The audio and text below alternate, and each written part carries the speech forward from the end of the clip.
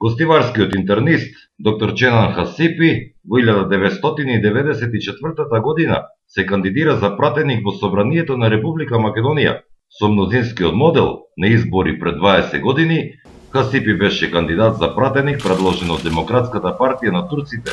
На тие избори Хасипи победи и ја започна својата политичка кариера. Од 94 до 98 година, со тоа што направи пауза 98-2002. Значи има еден мандатен период 94-98 и од 2002 до сега сум непрекинато пратеник. Сум во групата на пратеници со најдолг пратенички стаж. Не е тоа утеха, меѓутоа. Хасипи е еден од тројцата пратеници со најдолг пратенички стаж во независна Македонија. Поред него, првиот состав донел многу важни одлуки, бидејќи тога се ставиле темелите на државата. Денес, со немање на опозиција во парламентот, дебатата е поинаква. Мораме да признаеме дека првиот состав одработи многу. Се удираат темелите на независна Македонија и првиот состав донесе многу битни одлуки. Второ, првиот состав не се забарикадира во класични политички ровови. Значи, се носеа решенија кои што подразбира усогласување на ставовите, а не базирање класично на, на, на, на, на, на партиските, на партиските нели, е, програми и, и, и принципи. И, е, а тоа атрактивни дискусии, дискусии кои што некоја штерат на смеење, тоа не е само особина на македонскиот парламент, посебно на првиот состав. Јас кога ја посетивме Англија, првата реченица што ни ја кажа заменик спикерот на англискиот парламент рече добре дојдовте во најгледаниот театар на Англија. Значи, дофрлување од таков тип ситуации кои што доведуваат до аплаузи, смеење, разни чудни реагирања во собранието е секојдневие во англискиот парламент. Зборува дека откако ќе заврши дебатата после во клубот на пратеници си седнувате да се напиете кафе со тие што највише сте реплицирале. Точно ли е тоа?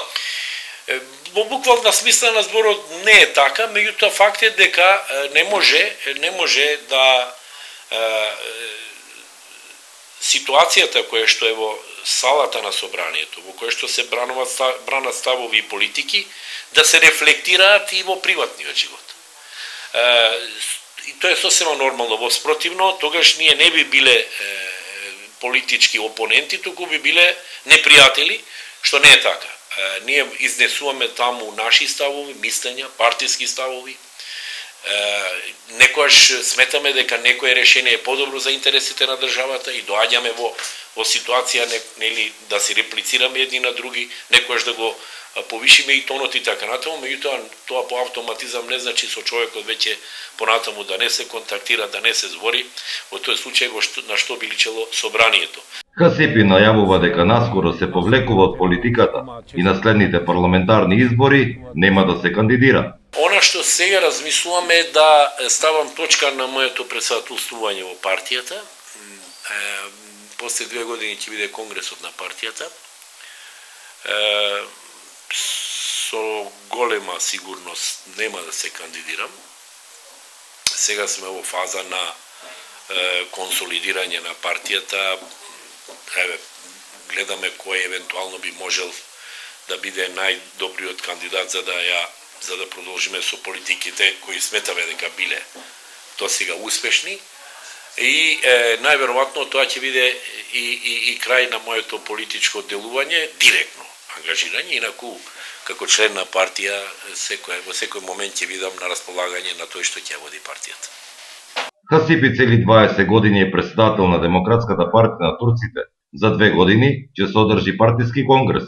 Тогаш ќе се бира нов председател.